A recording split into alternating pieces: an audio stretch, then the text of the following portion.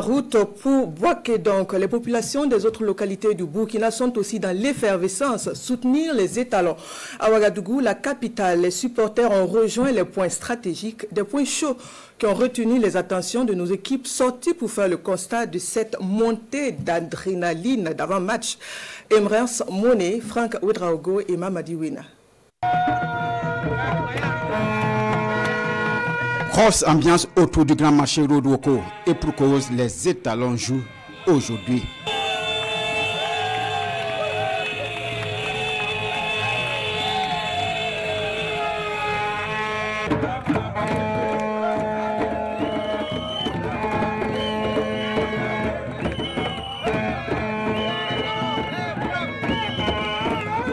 Loin des yeux, près du cœur, ils n'ont pas fait le déplacement de Boaké, mais ils sont de cœur avec les étalons qui entrent dans la 34e Coupe d'Afrique des Nations face aux Mourabitoun de la Mauritanie. Aux couleurs des étalons ou pas, les Burkinabés sont pratiquement tous confiants. Euh, pour le match de ce soir, nous sommes derrière les étalons, on les soutient à cœur.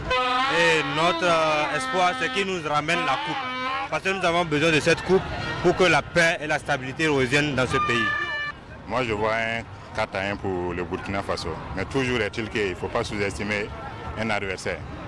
Oui, c'est qu'aujourd'hui, là, c'est 3-0 ou rien. On va prendre la coupe, là, c'est sûr. On va gagner. C'est nous.